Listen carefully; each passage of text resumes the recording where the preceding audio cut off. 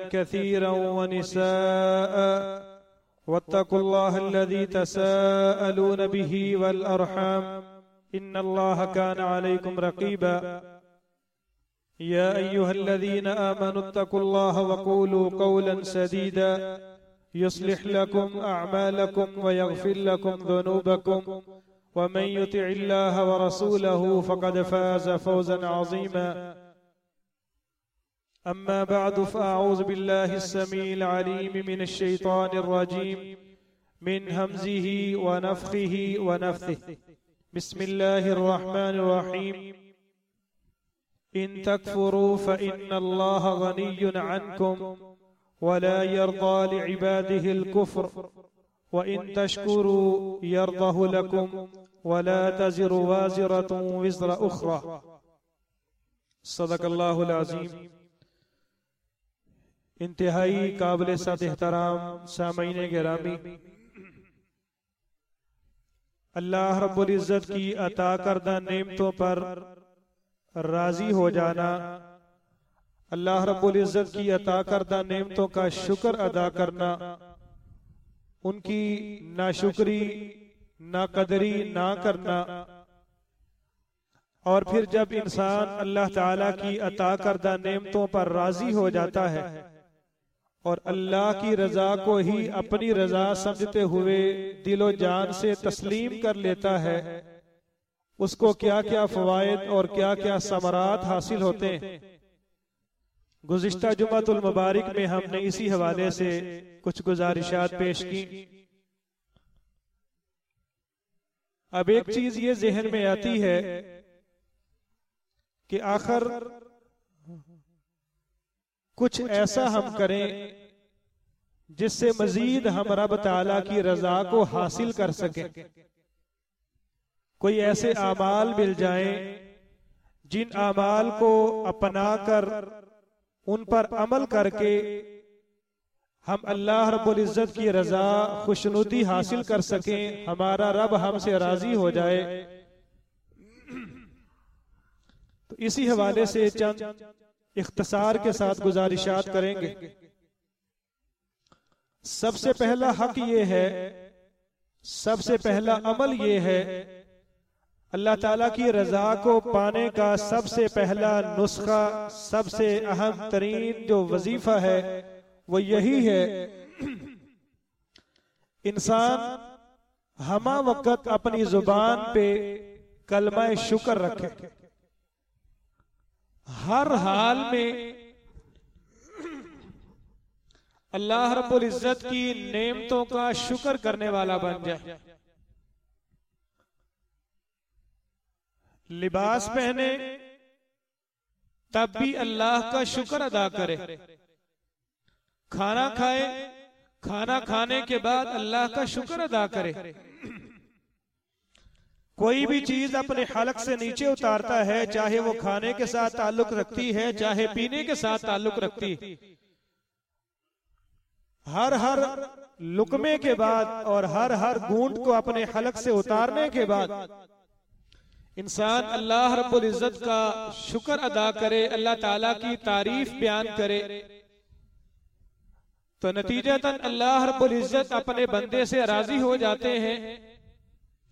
और अल्लाह ताला अपनी अता करदा नेमते अपने बंदे पे दायमी और मुस्तकिल फरमा देते उन नेमतों को कभी जवाल नहीं आता।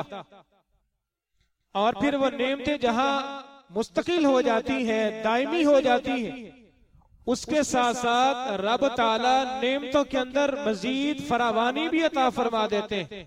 उन नेमतों में मजीद इजाफा कर दिया जाता है। सूरह जुमर की सात नंबर आयत है अल्लाह रब्बुल इज़्ज़त फरमाते हैं इन तकफुरु इन अल्लाह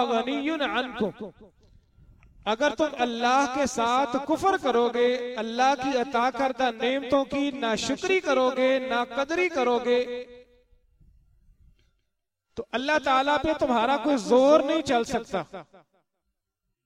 अल्लाह ताला गनी है, बेपरवाह जात है, उसे कोई ज़रूरत नहीं है, तुम के लाजिमन उसका शुक्र अदा करोगे तो उसकी बादशाहत में इजाफा होगा। उसकी बादशाहत लामहदूद है। तुम्हारे शुक्राने की मोहताज नहीं है। वला और ना ही रब ताला अपने बंदे से कुफर और नापसंदीदगी और नाशुक्री को पसंद नहीं करते। वह इन तशकुरु अगर तुम अल्लाह की अता करदा नेमतों पर अल्लाह का शुक्र अदा करोगे। नेमते चाहे थोड़ी है, फिर भी अपनी ज़ुबान पे कलमा शुक्र रखोगे। अल्लाह ताला तुम्हारे से राज़ी हो जाएँगे और अपनी नेमतों के अंदर मजीद इजाफा भी फरमा देंगे। अगर एक आदमी एक रोटी खाता है, फिर भी अल्लाह का शुक्र अदा करता है। रब ताला उसके रिज्क में इजाफा फरमाएँगे और एक से दो रोटियाँ उसको अता फरमा देंगे। या जैसे अल्लाह ताला की शान के लायक है, अल्लाह ताला अपनी बादशाहत को मद्देनजर रखते हुए अपनी रहमत के शयान शान अपने बंदे के साथ मजीद जो है वो इजाफा फरमाते चले जाएँगे। और कुरान का ये वादा भी है कि इन शकर तुम लजीद को अगर मेरी अता करदा नेमत पर शुक्र करोगे मैं अपनी नेमते और ज़्यादा दूँगा। वाला इन कफर तुम और अगर मेरी अता करदा नेमतों के साथ कुफर किया ना शुक्री की। इन्ना अदाबी लशदीद। फिर याद रखो कि बेकदरे लोगों के लिए मेरा आजाब बड़ा भयानक है। जब इंसान लिबास पहने, उस वक्त भी अल्लाह का शुक्र अदा करना चाहिए। नबी दाऊद किताबुल लिबास में चार हज़ार तेईस नंबर रिवायत है। नबी मोहतरम सल्लल्लाहु अलैहि वसल्लम ने हमें यह दर्श दिया है जब भी साफ़ सुथरा लिबास पहने नया लिबास जेबतन करें अल्लाह का शुक्र अदा करें। कितने ऐसे लोग हैं जो ऐसा लिबास पहनने से महरूम है। लेकिन अल्लाह ताला ने आपको इस लायक समझा कि अपनी नेमत आप पे अल्लाह ताला ने निछावर कर दी। तो हमारा ये हक बनता है कि लिबास जो अल्लाह ताला की बहुत बड़ी नेमत है जिससे हम अपना सतर जो है वो डांपते हैं। लिबास इंसानी खूबसूरती में मजीद इजाफा करता है। इंसानी खूबसूरती को चार चाँद लग जाते हैं। तो लिबास पहनने के बाद हमें ये दुआ पढ़नी चाहिए कि अल्हम्दुलिल्लाह कसानी। अल्हम्दुलिल्लाह कसानी हादा वरज़कनीहि मिन गैरि हौल मिन्नी वला कुवा कि तमाम तर तारीफें अल्लाह के लिए। उस जात का शुक्र अदा करता हूँ जिस जात ने मुझे लिबास अदा किया। और ये लिबास भी इंसानी रिज्क की एक किस्म करार दी गई है। फरमाया कि मुझे बगैर किसी मेहनत के, बगैर किसी कुत और मुशक्कत के रब ताला ने मुझे लिबास अता फरमा दिया। और हदीस कुत्सी का मफहूम भी है कि मेरे बंदो जब तुम पैदा हुए थे बेलिबास थे। इन्नकुम आरुन, तुम बरहना हालत में पैदा हुए थे। रब ताला वो जात है जिसने तुम्हें लिबास अता किया। अगर लिबास की भी ज़रूरत है, अपने रब से सवाल करें।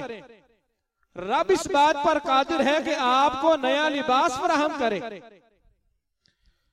तो नबी सल्लल्लाहु अलैहि वसल्लम ने फरमाया कि जो आदमी नया लिबास पहन के अल्लाह ताला का शुक्र अदा करता है, रब ताला अपने बंदे से इतना खुश होते हैं, रब ताला की रजा और खुशनुदी संदाज में बंदे को मिलती है।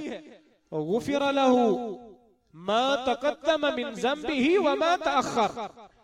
इंसान की ज़िंदगी के जितने गुनाह हैं सबका ज़िंदगी के अंदर जितने गुनाह वो कर चुका है, रब ताला इतने कलमा शुक्र बोलने की वजह से तमाम तर गुनाहों को मुआफ फरमा देते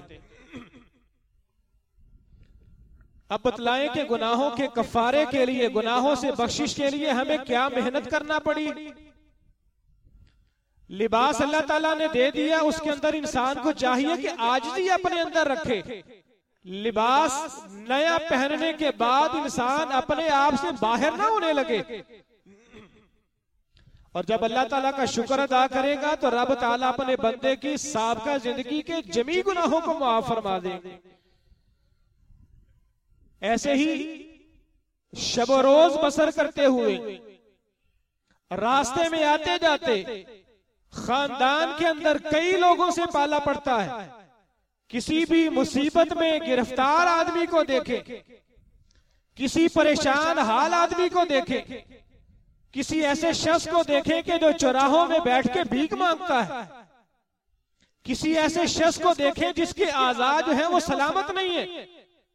किसी ऐसे शख्स को देखे कि वो उन बुनियादी नेमतों से महरूम है, जो नेमतें अल्लाह ताला ने अताब को अता कर रखी और बिन मांगे आपको अता कर रखी जब ऐसे अपने से कमतर जो नेमतों से महरूम है और जिसको अल्लाह ताला ने किसी भी खैर से महरूम कर रखा है।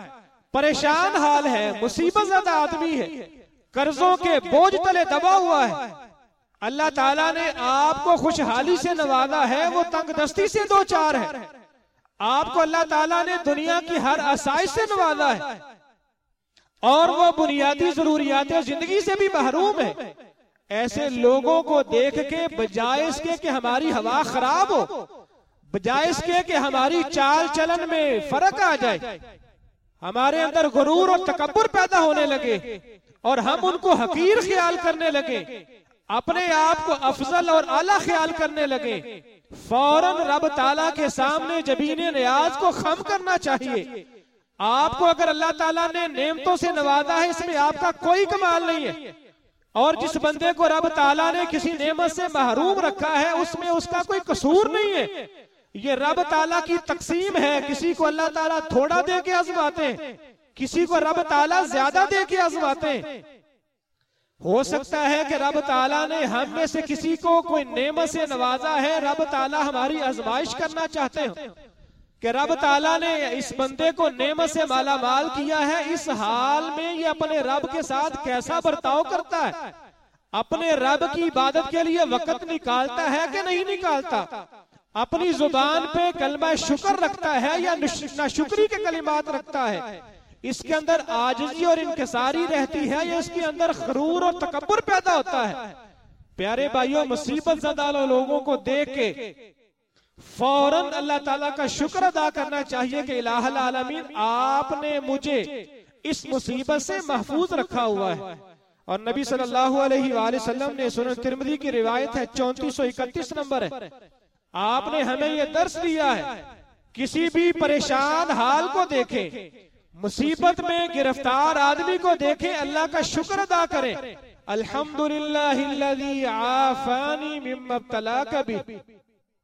अल्लाह तमाम तर तारीफें तेरे शयान शान है। जिस जात ने मुझे आफियत से रखा है, मुझे महफूज रखा है, उस परेशानी से, उस मुसीबत से, जिस मुसीबत और परेशानी के अंदर ये आदमी मेरे सामने मुरविस हो चुका है, वह फजलनी अला कसीर मिमन खलक तफदीला। तेरा शुक्र है कि जिसने अपनी मखलूकात में से बहुत लोगों पर मुझे बर्तरी अता की अल्लाह ताला ने आपको जवानी से नवाजा है, सेहत तंदुरुस्ती से नवाजा है, खूबसूरती से अल्लाह ताला ने नवाजा है। हत्या के दुनियावी आसाइशें आपको अल्लाह ताला ने अता की है। बजाय इसके कि हम अपने अंदर तकबर पैदा करें, गुरूर का शिकार हो जाएँ। हमें चाहिए कि हम अल्लाह के उतने ही आजिज और मुनकसर बंदे बन जाएँ। रब ताला का शुक्र अदा करने वाले, अल्लाह के सामने अपनी जबीन न्याज को खम करने वाले बन जाएँ। रब ताला हमें तोफीक अता फरमाए। अल्लाह ताला की अता करता नेमतों को जब अपने हलक से नीचे उतारे, खाना खाएँ, अल्लाह ने को फल दिया है, अल्लाह ताला की बहुत बड़ी नेमत है।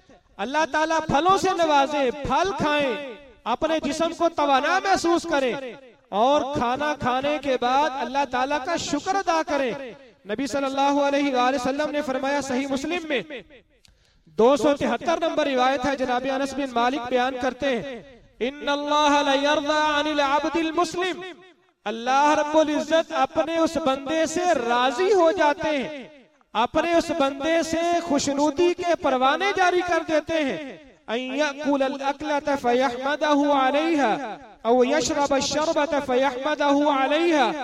जब भी वो खाना खाता है, खाने का एक लुकमा अपने हलक से नीचे उतारता है, साथ ही अल्हम्दुलिल्लाह कहता है, पानी पीता है, दूध पीता है, मशरूबात पीता है, और जैसे ही एक एक घूंट अपने हलक से उतारता चला जाता है, फ़ौरन अल्लाह का शुक्र अदा करना चाहिए। आज हम में से चार यार इकट्ठे होके किसी खाने के पकवान पे चले जाए। किसी मारूफ रेस्टोरेंट का रुख कर ले। वहाँ हमें ये चीज़ें तो याद रहती हैं कि जल्दी जल्दी मैंने फेसबुक पे व्हाट्सएप पे स्टेटस अपलोड करना है। दोस्त अहबाब से मैंने अपनी खुशी शेयर करनी है और दोस्तों को टैग करना है। ये सारे जतन और स्यापे हमें याद रहते हैं। नहीं याद रहता तो ये याद नहीं रहता कि रब की नेमतें मेरे सामने पड़ी है। मैंने दाएँ हाथ से खाना खाना है। खाना खाने से पहले मैंने बिस्मिल्लाह पढ़ना है। और अगर बिस्मिल्लाह भूल जाऊँ दरमियान में बिस्मिल्लाह ही फ़ी अव्वल ही व आखिरी ही के कलिमात पढ़ने। खाना खाने के बाद बजाय इसके कि मैं दोस्तों के साथ जो है वो बाजारों की जीनत बनूं और फखर और गुरूर पर मबनी अपनी चाल डाल पैदा करूँ। मुझे चाहिए कि मैं अल्लाह का शुक्र अदा करूँ कि आलमीन तेरे दिए हुए माल में से तेरी अता करता नेमतों से मैं लुत्फ अंदोज हुआ। आलमीन तेरे लिए तमाम तर तारीफे हैं मेरे इसमें कोई कमाल नहीं है। अल्लाह ताला अपने बंदे से राज़ी हो जाते हैं और सिर्फ़ राज़ी ही नहीं होते बल्कि अल्लाह रब्बुल इज़्ज़त ऐसे बंदे की तमाम तर ज़िंदगी के हदीस के अल्फाज हैं कि सबका ज़िंदगी में जो गुनाह कर चुका, आइंदा ज़िंदगी में जितने सगीरा गुनाह उससे सरदद होंगे, अगर वो इसी खैर पे बरकरार रहता है, इसी खैर के काम पे दवाम इख्तियार करता है, इस्तकामत इख्तियार करता है, और अल्लाह ताला की इबादत के लिए वक़्त निकालता है, रब ताला उसकी सबका ज़िंदगी के भी और आने वाली ज़िंदगी के भी तमाम तर सगीरा गुनाहों को मुआफ फरमा देते हैं। जनाब अनस बयान करते हैं सुन नबी दाऊद में चार हज़ार तेईस नंबर रिवायत है। आपने फरमाया कि मन अकला तामन जो आदमी खाना खाए, कोई भी चीज़ खा ले, सुम्मा कौल, फिर ये दुआ पढ़े अल्हम्दुलिल्लाह तमाम तर तारीफें उस जात के लिए हैं जिसने मुझे ये खाना खिलाया। और मुझे बगैर मेहनत और मुशक्कत के बगैर किसी कुत के और बगैर किसी मोहताजी के मुझे रिज्क अता किया तमाम तर तरीफे उसी जाते वाहिद के लिए फरमाया कि रब ताला उसकी सारी ज़िंदगी के सगीरा गुनाहों को माफ़ फरमा देते हैं दूसरे नंबर पे रब की रजा अगर हासिल करना चाहते हैं अगर ये चाहते हैं कि मेरे तमाम तर मामलात में रब की तरफ़ से अल्लाह की खुशनूदी शामिल हाल हो जाए, अपने वालिदैन के खिदमत गुजार बन जाइए। वालिदैन की रजामंदी के अंदर, बाप की खुशनूदी के अंदर अल्लाह की रजा का राज मुजमिर है। अगर कोई शख्स ये चाहता है कि मेरा रब मुझसे राज़ी हो जाए उसको चाहिए कि अपने माँ बाप का खिदमत गुजार बन जाए। अपने माँ बाप को परेशान ना करे। वालिदैन की इतात और फरबा बरदारी करे जब तक वो आपको नेकी का दर्श देते हैं। माँ बाप के खिदमत गुजार बन जाए। जामे तिरमदी के अंदर अठारह सौ निन्यानवे नंबर रिवायत है। अब्दुल्ला बिन आमर बिन आस बयान करते हैं। अल्लाह के रसूल सल्लल्लाहु अलैहि वसल्लम ने फरमाया कि रब की रिजा वालिद की खुशनुदी के अंदर है। वसखत रब्बी फ़ी सखतिल वालिद। अल्लाह का अजाब, अल्लाह का गजब, बाप के नाफरमानी करने के अंदर अल्लाह ताला ने छुपा रखा है। अगर किसी शख्स से उसका बाप नाराज़ है और वो ये ख्याल करता है कि मुझे इनकी कोई परवाह नहीं है, मैं नौजवान हूँ, अपना कमाता हूँ, अपना खाता हूँ, ये जहाँ से मर्दी कमाए, खाए, पिए, मैं अकेला इनका बेटा बाकी भी औलाद है। मुझे इनकी परवाह नहीं है। कहाँ तक इनकी बीमारियों का इलाज करवाऊं? सारे अखराज इन्हीं पर खर्च हो जाते हैं। मैंने अपना भी कुछ बनाना है। अपने बीवी बच्चों के लिए भी कुछ करना है।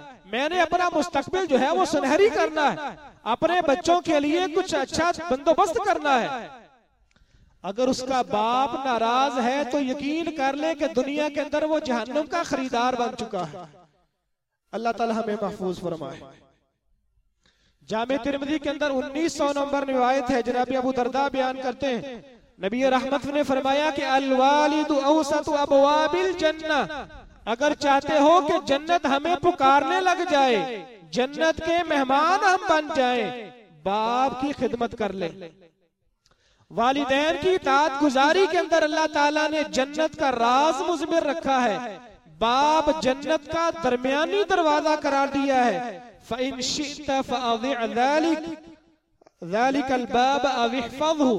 फरमाया कि शरीयत ने बाप को जन्नत का दरवाज़ा बनाया है।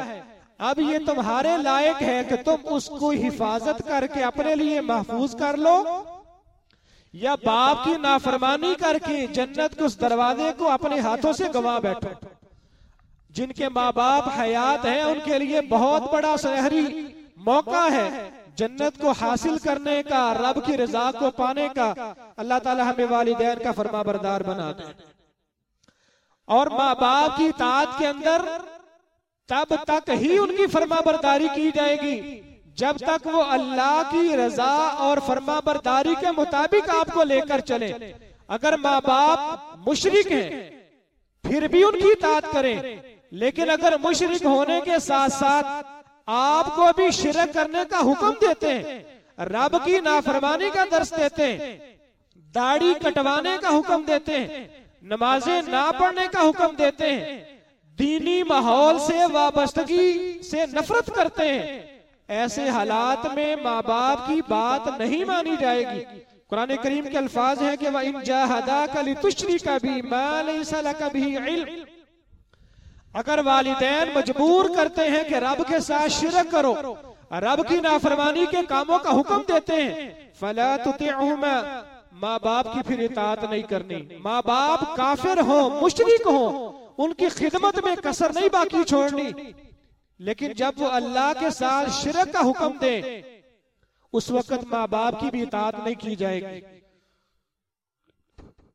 तीसरे नंबर पे अगर कोई शख्स ये चाहता है कि रब की रजा मिल जाए। दुनिया के अंदर अल्लाह की रजा के सर्टिफिकेट हासिल हो जाए। अगर ये कैफियत है तो फिर हमें भी इस पर अमल करना चाहिए। कल कला फकीरी थी। रोटी के एक एक टुकड़े को तरसता था। आज अल्लाह ताला ने अमीरी दे दी है। माल से नवाज़ दिया है। तमंगुरी दे दी है। फकीरी के बाद अमीरी अता कर दी है। माल मिलने के बाद अगर आपकी चौकट पे को साइल आता है उसको दुदकारना नहीं है। उसको धक्के नहीं देने। उसको ठट्ठा और मज़ाक नहीं करना। दे सकते हो तो अच्छे तरीके से दे दे नहीं दे सकते या वक्ती तौर पे जेब खाली है। आसान तरीके से माजरत कर ले। लेकिन साहब इस्तात होने के बावजूद फुकारा मसाकिन यतामा मसाकिन बेवगान की खिदमत ना करना। अल्लाह ताला के अजाब को दावत देने वाली बात है। एक लंबी रिवायत है जनाबी अबू हुरैरा बयान करते हैं। बरी इसराइल के अंदर तीन आदमी थे। एक कोड़ ज़्यादा था। सारे जिसम पे कोड़ का मर्ज लाहिक था। और एक नबीना आदमी था। तीसरा शख्स ऐसा था जिसके सर के बाल नहीं थे गंजा आदमी था। रब ताला की रजा को मंजूर हुआ कि अल्लाह ताला ने चाहा कि इन तीनों का इम्तिहान लिया जाए। अल्लाह ताला ने उनकी आजमाइश का प्रोग्राम बनाया। आजमाइश के तौर पे रब ताला ने एक फरिश्ता उनके पास भेजा। फरिश्ता पहले कोड़ ज़्यादा आदमी के पास आया? और आके सवाल करता है कि तुम्हारी कोई मंशा है, तुम्हारी कोई ख्वाहिश है तो बतलाओ। मैं उसको पूरा किए देता हूँ। कोड़ आदमी कहने लगा कि मैं ये चाहता हूँ कि ये बीमारी मुझसे दूर हो जाए। मेरा चेहरा खूबसूरत बन जाए। मुझे अल्लाह ताला प्यारी और खूबसूरत जिल्द अता कर दे। और इस कोड की वजह से लोग जब मुझसे नफरत करते हैं, पास बैठने नहीं देते। लोगों के दिलों से वो नफरत खत्म हो जाए लोग मुझसे मोहब्बत करने लग जाए। अल्लाह की तरफ़ से भेजे गए फरिश्ते ने उसके हाथ जिसम पे हाथ फेरा अल्लाह ताला के हुक्म से उसको शिफा मिल गई। खूबसूरत अल्लाह ताला ने चमड़ी अता कर दी। इंतहाई खूबसूरत चेहरा अता कर दिया। फरिश्ते ने पूछा माल में तुझे क्या पसंद है? कहने लगा कि मुझे ऊंटनियाँ बड़ी पसंद है। फरिश्ते ने एक गाबन हामला ऊंटनी उसको दे दी। फिर वो फरिश्ता एक नबीना आदमी के पास गया। उससे भी जाके यही सवाल हुए। उसने जवाब दिया कि मैं ये चाहता हूँ कि मेरी ये बेनाई लौट आए। ये जो नबीना बन है, खत्म हो जाए। मैं अल्लाह की तखलीक करता, शहकार अपनी आँखों से देख सकूँ। अल्लाह की मखलूक को देख सकूँ। फरिश्ते ने उसकी आँखों पे हाथ फेरा, अल्लाह ताला उसको भी शिफा दे दी उससे पूछा कि तुझे माल में क्या पसंद है? कहने लगा कि मुझे गाय बहुत पसंद है। फरिश्ते ने एक हामला गाय उसको दे दी। उसके बाद एक गंजे आदमी के पास वो फरिश्ता गया। उससे जाके सवाल जवाब हुए। उसने कहा कि बाल इसकी वजह से इंसानी खूबसूरती में इजाफा होता है। मैं ये चाहता हूँ कि मेरे बाल आ जाए। और मेरी खूबसूरती में इजाफा हो जाए। और लोग जब मुझसे नफरत करते हैं या मुझे हकारत की निगाह से देखते हैं लोगों के अंदर से वो मामला रफा हो जाए। फरिश्ते ने उसके जिसम पे हाथ फेरा अल्लाह ताला ने उसको भी खूबसूरती से नवाज़ दिया। कुछ अरसे के बाद वही फरिश्ता उसी हालत में दोबारा पहले शख्स के पास आता है जो कोड ज़्यादा आदमी था। इतने दौरानिये में जिसको अल्लाह ताला ने उठनी दी, जिसको गाय दी, जिसको बकरी दी। गंजे आदमी, नबीना आदमी को बकरी दी गई और गंजे आदमी को गाय दी गई। तीनों को अल्लाह ताला ने माल में इतनी फरावानियाँ अता की, इतनी बरकत अता की कि उनका वो सारे का सारा जो एरिया था वो जानवरों से भर गया। अब वो एक साइल बन के, फकीर बन के तीनों के पास जाता है। पहले कोट ज़्यादा आदमी के पास जाके सवाल करता है कि मैं मोहताज आदमी हूँ। सफ़र के लिए वसायल नहीं है। मेरी माली मुआवनत कर दो तुझे अल्लाह ने इतना नवाजा है। वो कहता है चलो फूटो यहाँ से। देने के लिए कुछ नहीं है। मुझे अपने बहुत से आपे आज भी लोग यही कहते हैं। आपको तो बात ही कोई नहीं आती। हमारे अपने अखराज बहुत ज़्यादा है। चलो निकलो यहाँ से। उस फरिश्ते ने कहा कि मैं तुझे जानता हूँ तू कोड़ ज़्यादा आदमी था रब ताला ने तुझे खूबसूरती से नवाजा। तो फकीर था रब ताला ने तुझे तवंगुरी अता की। उसने कहा दफ़ा हो जाओ यहाँ से। मैं अपने बलबोते पे अमीर हुआ हूँ। और बल्कि ये अमीरी जो है मेरे बाप दादा से आ रही है। मैं तो खानदानी रईस हूँ। आगे गंजे आदमी के पास गया उसने भी ऐसे ही दुदकार दिया उसने भी उसकी कोई मदद नहीं की। फरिश्ते ने दोनों को यही बात दुआ दी कि अगर तुम अपने मौकफ में जूटे हो तो मैं रब ताला से दुआ करता हूँ कि अल्लाह ताला तुम्हें वापस उसी हालत में लौटा दे जिसमें तुम पहले थे। फिर तीसरे नंबर पे वो नबीना आदमी के पास गया और जाके कहा कि मैं मुसाफिर आदमी हूँ। जराए नहीं है, वसाइल नहीं है, अखराजात नहीं है, मेरी मदद करो। अल्लाह ताला ने तुझे आँखों से नवाजा है, इतनी खूबसूरती दी है। नबीना आदमी कहने लगा कि अल्लाह का शुक्र है कि मैं नबीना था। रब ताला ने मुझे कुत बेनाई अता की। मैं फकीर था, भूखा मर रहा था। रब ताला ने मेरे माल में बरकतें अता फरमाई। ये जितना माल है, रब ताला का दिया हुआ है। इसमें से जितना चाहते हो ले जाओ, मैं तुझे रोकूँगा नहीं।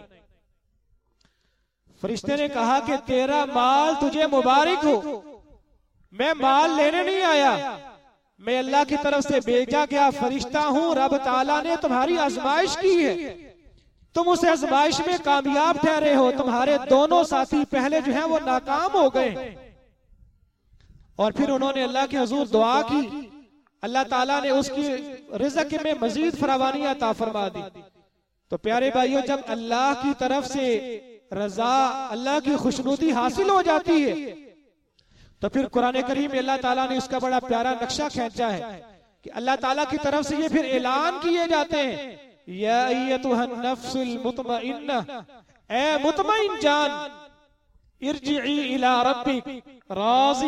मर्जिया, अपने रब की तरफ़ वापस लौटाओ।